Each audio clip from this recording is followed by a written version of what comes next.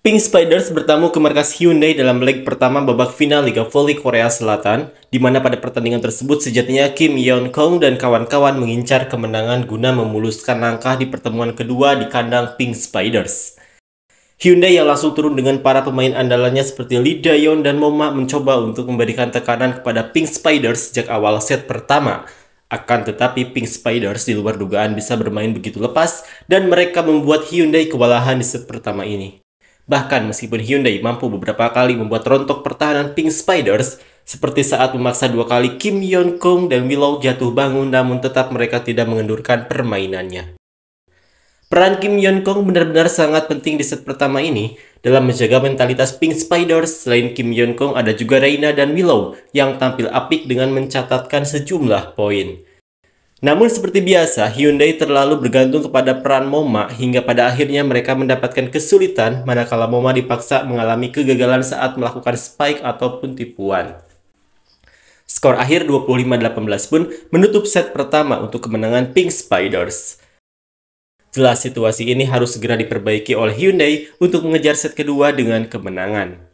Di set kedua, Pink Spiders ternyata masih terlalu tangguh untuk Hyundai. Itu terbukti dari cara mereka memimpin set kedua dengan skor lumayan telak. Lagi dan lagi Moma kembali harus dibuat frustasi karena setiap kali upayanya begitu mudah dipatahkan.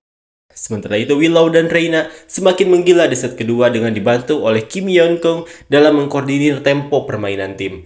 Dan Pink Spiders pun kembali mendapatkan kemenangan mudah 25-14. Pada set ketiga, upaya Kim Yeon Kong dan kawan-kawan untuk mengunci kemenangan dibuat kesulitan sebab Hyundai di luar dugaan bangkit dan memberikan perlawanan sengit. Hyundai berhasil mencuri set ketiga dengan kemenangan 25-20. Sekarang kedudukan menjadi 2-1. Hyundai masih punya nafas untuk mengejar ketertinggalannya. Pada set keempat, situasi semakin memanas. Kedua tim memperlihatkan sikap tidak mau menyerah dan Hyundai sebagai tuan rumah mencoba untuk memberi tekanan bertubi-tubi kepada Pink Spiders.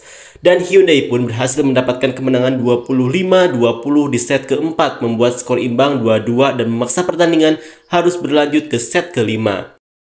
Pada set kelima, pertarungan sengit terjadi kedua tim terlibat dalam drama kejar-kejaran poin dan pada akhirnya Hyundai Hillstead mampu mendapatkan kemenangan 16-14. Mereka pun sukses mengamankan kemenangan 3-2 di kandang.